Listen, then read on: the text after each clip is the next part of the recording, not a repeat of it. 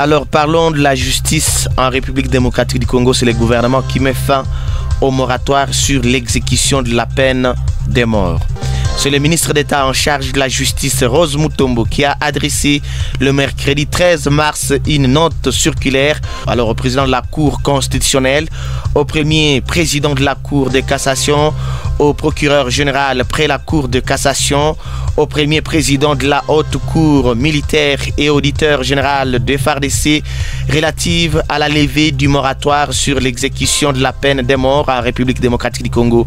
Selon la ministre de la Justice, au cours des 30 dernières années, la partie orientale du pays est en proie à des conflits armés récurrents, souvent orchestrés par les États étrangers qui, pour la circonstance, bénéficient parfois de la complicité de certains compatriotes congolais.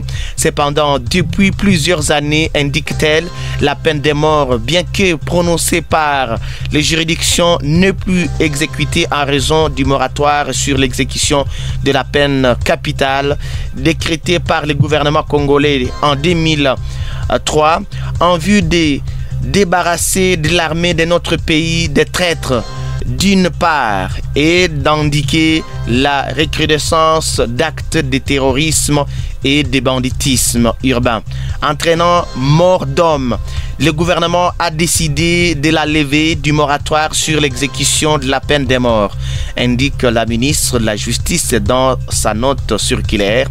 En croire ces documents, la peine de mort sera exécutée si elle est consécutive à une condamnation judiciaire irrévocable intervenue en temps de guerre sous l'état de siège ou d'urgence à l'occasion d'une opération de police tendant au maintien ou au rétablissement de l'ordre public ou encore pendant toute autre circonstance exceptionnelle.